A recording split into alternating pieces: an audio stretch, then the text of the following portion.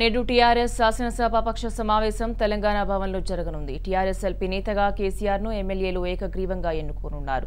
ఈ భేటీకి కొత్తగా ఎన్నికైన ఎమ్మెల్యేలతో పాటు ఎమ్మెల్సీలు ఎంపీలను కేసీఆర్ ఆహ్వానించారు. ఆ తరువాత సీఎం గవర్నర్కు శాసనసభాపక్ష తీర్మాన ప్రతిని అందజేయనున్నారు.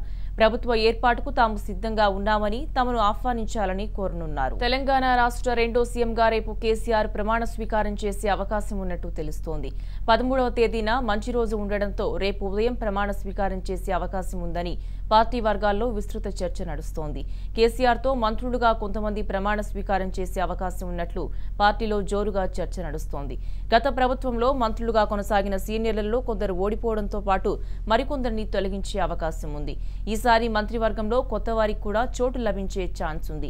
బాల్కా సుమన్ కొప్పుల ఈశ్వర్ నోముల నరసింహయ్య శ్రీనివాస్ గౌడ్ రేఖా నాయక్ ఎర్రబెల్లి దయాకర్కు మంత్రివర్గంలో చోటు దక్కే అవకాశం ఉందని చర్చ నడుస్తోంది. ఇటు ప్రమాణ స్వీకారానికి సంబంధించిన ఏర్పాట్లను కూడా రాజ్భవన్ వర్గాలు ముమ్మరం చేశాయి. ప్రభుత్వం ఏర్పడ్డాక శాసనసభను ప్రత్యేకంగా సమావేశపరిచి ఎమ్మెల్యేలుగా వారి చేత ప్రమాణ స్వీకారం చేయించనున్నారు. ఇందుకోసం ప్రోటెం స్పీకర్గా టీఆర్ఎస్ ఎమ్మెల్యే రెడ్యానాయక్ను నియమించాలని పార్టీ అధిష్టానం భావిస్తున్నట్టు తెలుస్తోంది. ప్రస్తుత సభాపతి మధుసూదనాచారి ఎన్నికల్లో ఓడిపోవడంతో కొత్త వారిని నియమించాలని సీఎం కేసీఆర్ చూస్తున్నారు.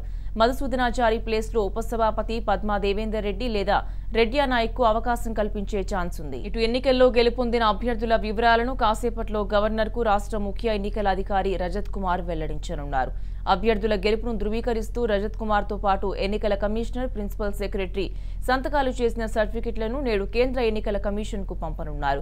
గవర్నర్ గెజెట్ విడుదల చేశాక ప్రభుత్వ ఏర్పాటుకు సంబంధించిన కార్యక్రమాలు మొదలు కానున్నాయి.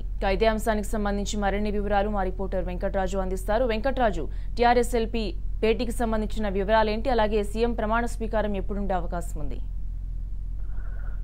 ప్రసన్న ఈరోజు పదకొండు తర్వాత టీఆర్ఎస్ఎల్పీ మీటింగ్ తెలంగాణ భవన్లో ఉంటుంది. ఈ సమావేశానికి ఎవరైతే నిన్న ఎన్నికల గెలిచిన ఎనిమిది మంది ఎమ్మెల్యే అందరూ కూడా హాజరు కావాలనేది వారికి అత్యధికంగా సమాచారం అందింది. వీరందరూ కూడా ఇప్పటికే హైదరాబాద్ చేసుకుంటున్నారు. ఉదయం పదకొండున్నర తర్వాత తెలంగాణ భవన్ జరిగే ఈ సమావేశంలో అందరూ కూడా ఏకగ్రీవంగా ఎమ్మెల్యేలు ఎనభై ఎనిమిది ఎమ్మెల్యేలు ఏకగ్రీవంగా తమ యొక్క శాసనసభ నాయకుడిగా కేసీఆర్ ఎన్నుకుంటారు. ఆ ఎన్నుకున్న తర్వాత ఎన్నుకుంటూ తీసుకున్న తీర్మానాల కాపీని గవర్నర్ దగ్గరికి స్వయంగా కేసీఆర్తో పాటు మరికొంతమంది సీనియర్ ఎమ్మెల్యేలు కూడా వెళ్ళి ఆ యొక్క లేఖను రాజ్భవన్లో గవర్నర్ అందిస్తారు ఆ తర్వాత గవర్నర్ అధికారికంగా ఎన్నికల కమిషన్ నుంచి ఈ రోజు సాయంత్రంలోగా దీనిపై అంటే ఇప్పుడు ఎవరైతే ఎమ్మెల్యేలు గెలిచారో వారందరినీ కూడా గెలుస్తున్నట్టు ఎన్నికల సంఘం నుంచి అధికారికంగా ధృవ ధృవీకరణ ఇస్తూ ఒక పత్రం ఇవ్వాల్సి ఉంటుంది. అది ఇప్పటికే ఆ ప్రక్రియ కూడా మొదలైంది. అంటే నిన్న రాత్రే ఎన్నికలకు సంబంధించిన ప్రిన్సిపల్ సెక్రటరీ ఎస్కే రూడేలా హైదరాబాద్కు వచ్చి వచ్చారు ఆయన ఇప్పుడు ఆ పనిలో ఉన్నారు. ఈ ఎన్నికల సంఘం సంబంధించిన పత్రాలన్నింటినీ కూడా రాజ్భవన్కి వెళ్ళినాక రాజ్భవన్ నుంచి ఒక గెజిట్ విడుదల అవుతుంది.